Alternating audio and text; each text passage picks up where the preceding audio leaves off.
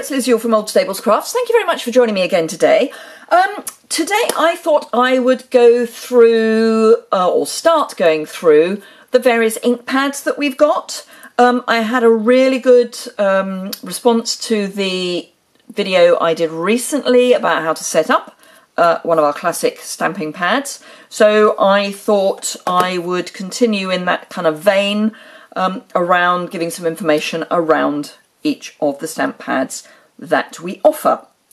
I'm going to use the same stamp set in all of these videos. I will spread the videos out over the next few weeks, uh, so do keep coming back to see those.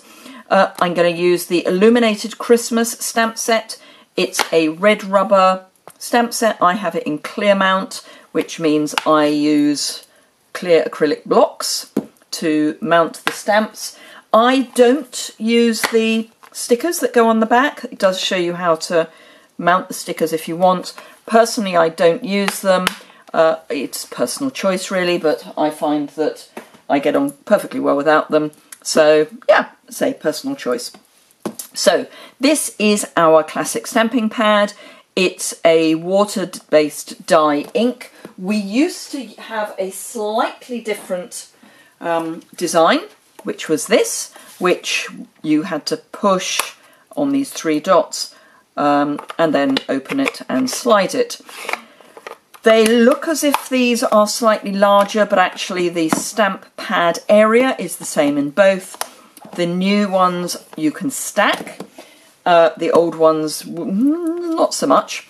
Um, so the new ones do take up a little less space. They're a lovely clean white finish but they are basically the same um, the same thing. There is a defoamer in the new ink pads. This was more of an issue with the paler colours, but there is a defoamer, so you shouldn't get any bubbling, particularly when you've got a very new or a recently re-inked ink pad.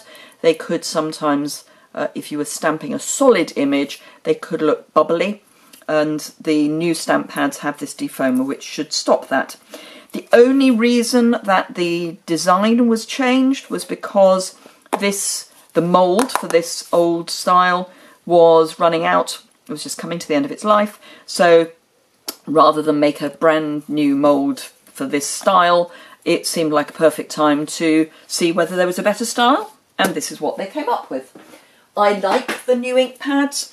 There are some um, concerns that some people have with how they slide. This one slides perfectly easily, but if you do have a problem with them sliding, A, I don't slide them all the way to the end because I find you've then got something to grab hold of at this end, although having said that, still got ink on me. Um, but I do find that that is just easier anyway. But also, if you do find that they're a bit stiff, you can rub just an ordinary household candle down the sides here, or get a cotton bud with a very small amount of Vaseline and rub that down the sides and that just helps lubricate them a little bit whilst you're wearing them in. They will ease off, the more you use them the easier they become, but yeah. So as far as the ink is concerned, as I say, it's a water-based dye ink.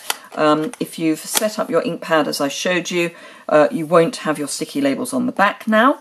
Uh, so you will be able to see it's water-based dye, acid-free, non-toxic, Perfect, therefore, for scrapbooking um, because you're not going to have any, any problems with um, archival issues.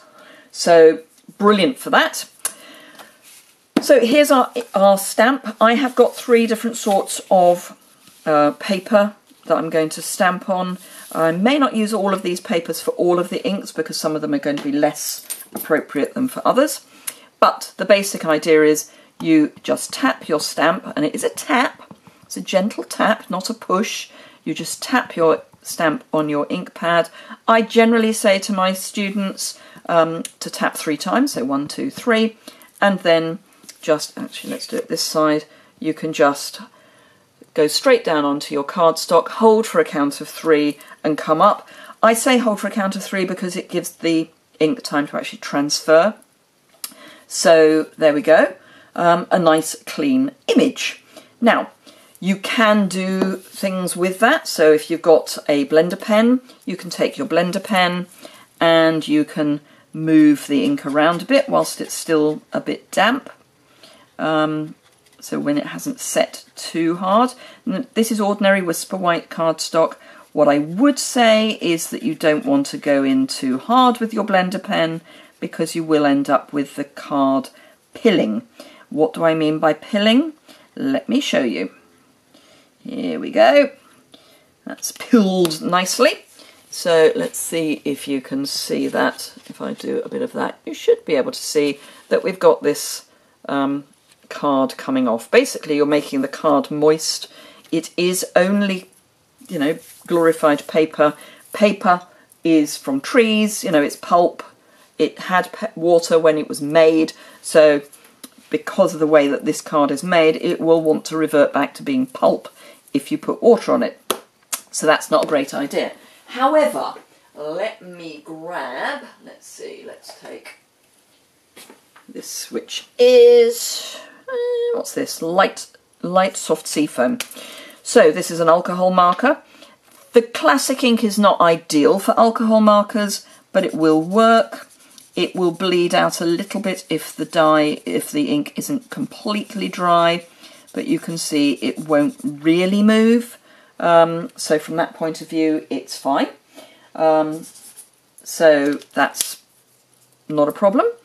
Um, you can use a water pen, a water brush. It's not ideal because again you're going to overload your water, your um, paper.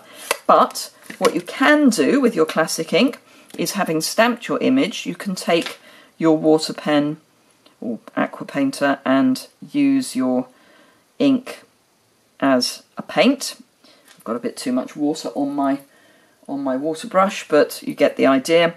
You can also use the same idea. You can take your blender pen and pick up and use your blender pen straight from the straight from the lid of your um, your pad. I would always say clean your blender pen off when you've finished.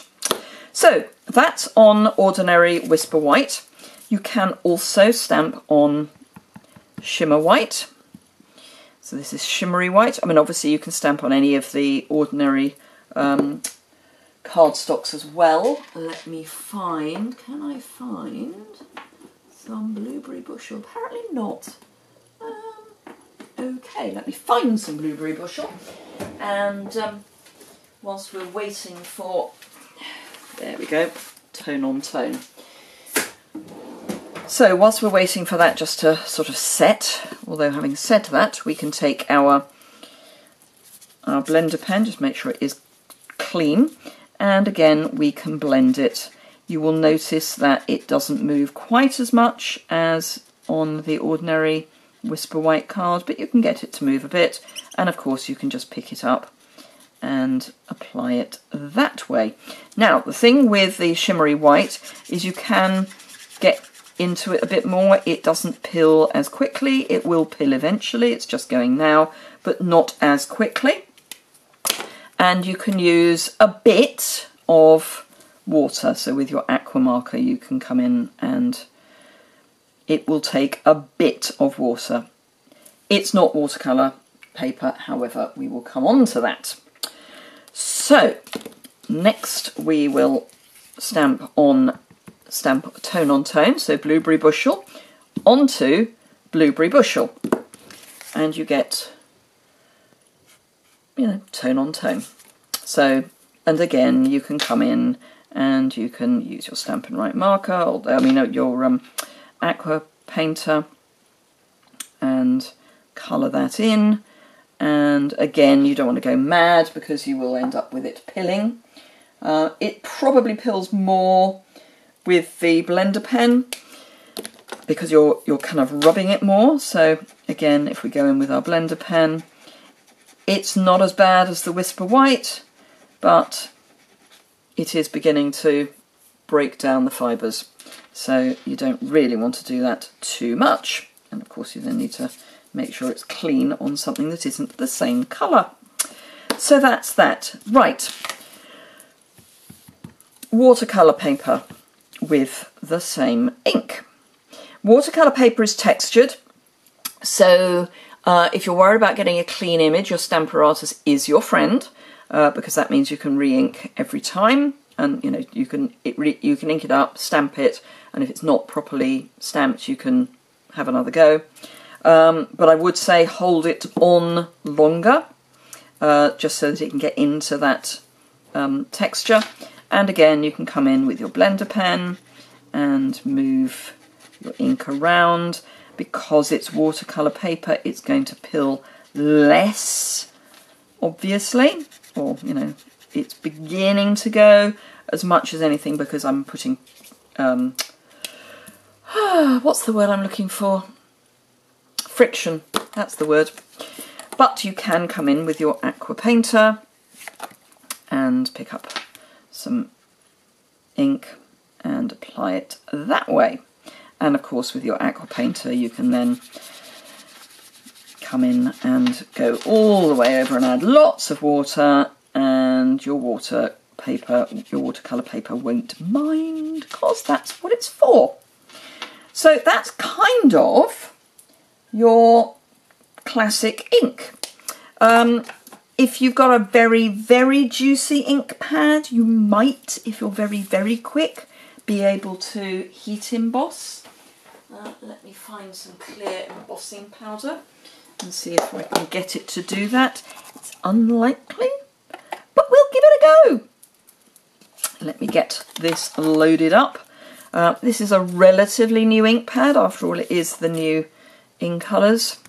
So let me see what I can do. I think it is going to be highly unlikely, but oh no, no, I've managed to do it. But you do have to be that quick. So that has taken some embossing powder.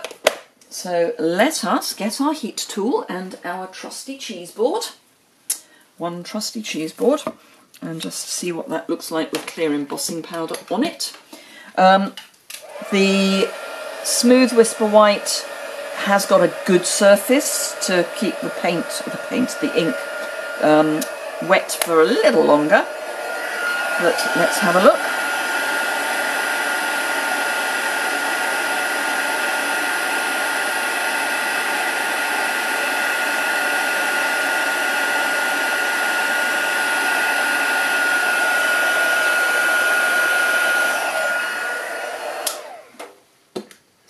There we go. We have our nice glossy finish. But that's only going to happen with a nice juicy ink pad. Um, so do bear that in mind and you have to be that quick. So don't hang about. Anyway, I hope you found that useful. As I say, this is the classic ink pad from Stampin' Up. Um, if you have any more questions about classic ink, please do leave a comment or drop me an email. My email address is on my blog. Um, on my blog, you'll find all my social media links. There's also there's a section that's about me, and you'll find my address there. If you're on my mailing list, my address is on my mailing list as well. So you know you can always drop me a line if you would rather go to the you know old-fashioned writing a letter. I know we we don't write letters very much these days, but sometimes it's quite nice. Um, so there we go. Classic ink if you uh, keep clear, if I put my teeth in, um, if you've got any questions, I say let me know. Just drop a comment.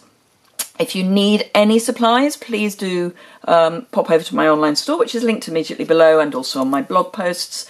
Uh, if you don't already subscribe to my YouTube channel, please, please do. I'm hoping that by the, my birthday on the 1st of November, I will have 5,000 subscribers. That would be a lovely birthday present. The subscribe button is just down in the bottom right hand corner here. You can also subscribe to my blog posts and my newsletter over on my website. Um, so lots of ways to keep in touch with Old Stables Crafts. Thank you very much indeed for watching and I hope to see you again soon.